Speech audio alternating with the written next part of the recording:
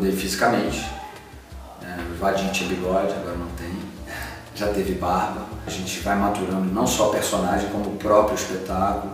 E sempre que vem uma nova Dona Flor, que é o caso desse espetáculo, né, a gente está na terceira Dona Flor, é, é sempre uma, um incentivo para quem está em cena já. Porque a pessoa que está entrando traz novidades, né? ela traz o, o, o, timbre dela, o carimbo dela na, na, personagem. Isso faz com que a gente se modifique, se adeque ao trabalho dela. Eu não fico nu, quem fica nu é o vadinho, né? Então, eu não, não, me incomodo com essa nudez, até porque é uma nudez que foi escrita pelo Jorge Amado, é, tirando a brincadeira.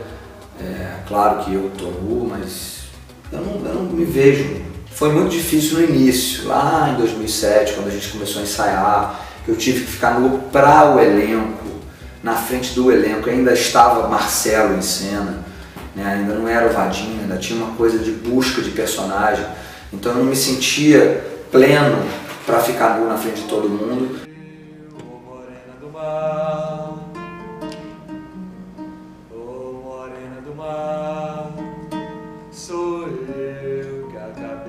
eu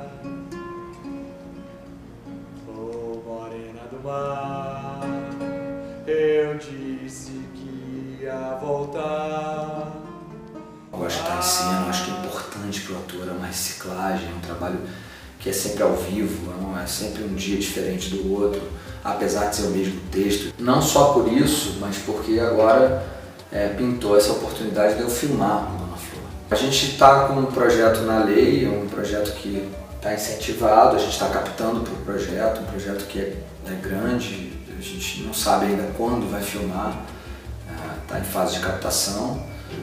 A nossa pretensão é filmar em outubro, novembro desse ano, mas tudo depende disso, de dinheiro.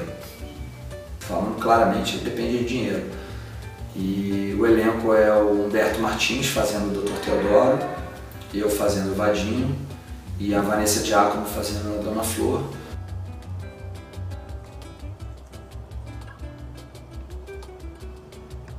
Encornou!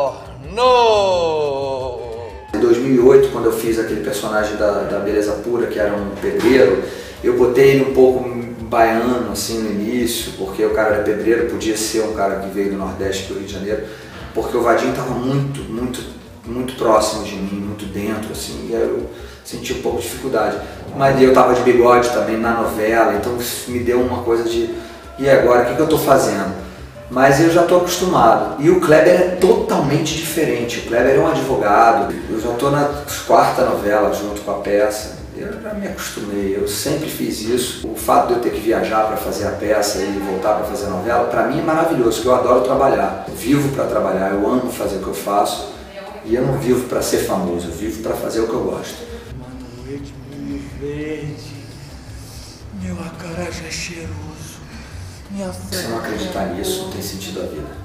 A gente tem que acreditar em alguma coisa. Não pode acabar, né, gente? Tem que ter alguma coisa. Até porque não é só após a morte, é antes da vida. Que a gente sempre pensa, ah, e depois que a gente morrer. Mas e antes da gente nascer? Quem a gente era? O que a gente era? Então eu penso muito nisso.